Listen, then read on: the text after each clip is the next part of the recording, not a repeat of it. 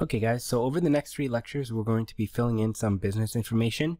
Now the main purpose of this is basically search engine optimization, so search engines like Google will know what your website is about. So we'll head on over into settings, and in this lecture we'll just cover the first four which fall under the general information.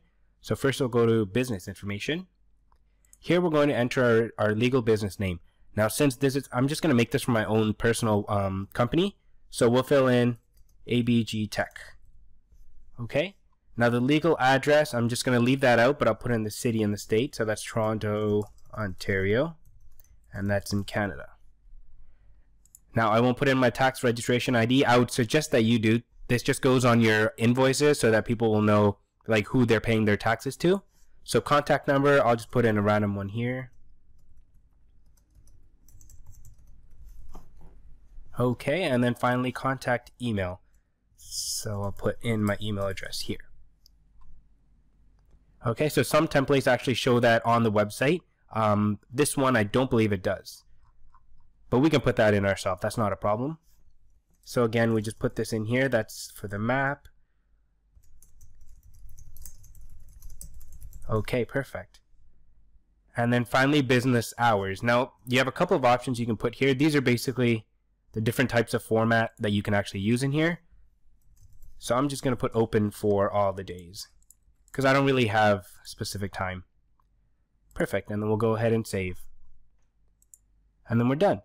Now we'll go into regional. So this is basically um, where your actual office is.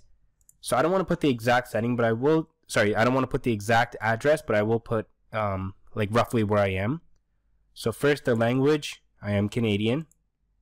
And then geography. So again, Canada. There it is. Perfect. And the closest city is Toronto. And I'll leave it at Imperial.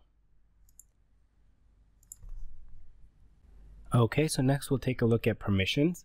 Inside permissions, what you can basically do is give other people access to your account without actually giving your username and password. So for example, you can invite somebody to help you with a website. You just put in their name and their email address here, and you can give them specific permissions. So some people can only add blog posts or change the wording, but they can't change templates or um, like change your plan. And then another thing you can do, another thing you should do actually, is add a basic author, especially if you're going to blog. So you would put in their name, their picture, and their Google Plus profile. This will show up on search engines as well.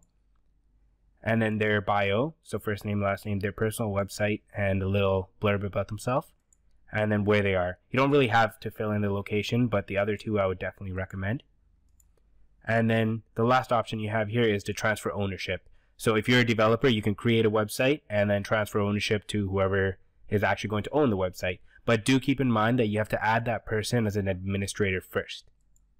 Okay? So the last option in this section is billing an account. There's five things we can pick here. So first is billing. Here you can cancel your trial. You can see when you've been online since, and you can change your plan between the ones that are available. Underneath invoices, you can see a list of all your invoices per month that you paid to Squarespace.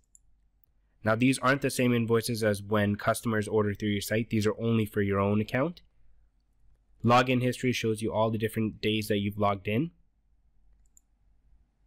And you can delete your site by clicking here and then delete site. And then finally we can switch Right now we have it set up as a website. We can also switch to commerce or a cover page.